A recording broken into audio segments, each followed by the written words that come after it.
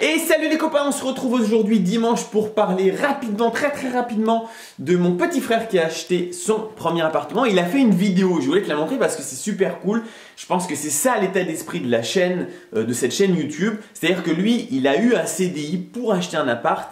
Euh, dès qu'il a eu les clés, je crois le lendemain où il a reçu ses clés, il a démissionné parce que en fait le CDI s'en foutait, c'était juste pour avoir son crédit.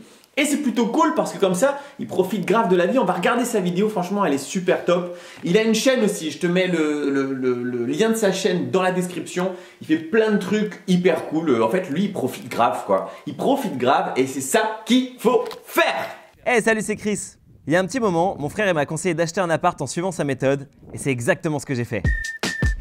D'abord, j'ai trouvé un CDI et j'ai loué un appart. Ensuite, j'ai suivi la super formation immobilière de mon frérot. J'ai visité des apparts, genre beaucoup d'apparts. Puis j'ai fait plusieurs offres. Et finalement, c'est là.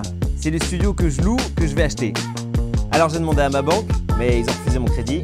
Puis j'ai dû demander à un courtier pour trouver une banque un peu plus cool. Maintenant, faut juste être patient. Je dois attendre le rendez-vous chez le notaire. Et après, c'est bon.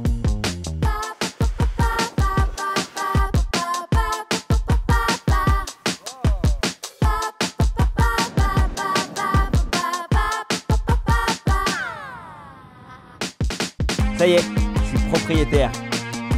Je peux arrêter mon CDI et commencer les travaux. Clairement, la partie travaux, c'est la moins fun. Surtout quand tu fais ça en solo et que tu connais rien. Bon, j'avoue, quelques personnes sont venues me filer un coup de main.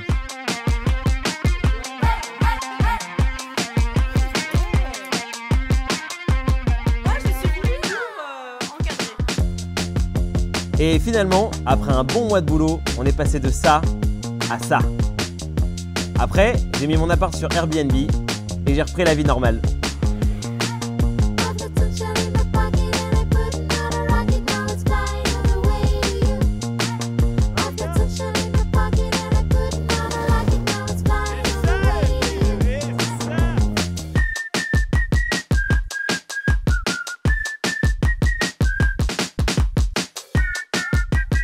Et tu sais quoi, Airbnb, c'est hyper cool. Aujourd'hui, je suis à La Réunion et ça y est, j'ai une vie d'adulte.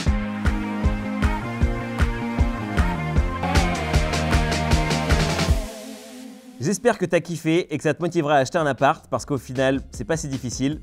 Je te mets un petit bilan là.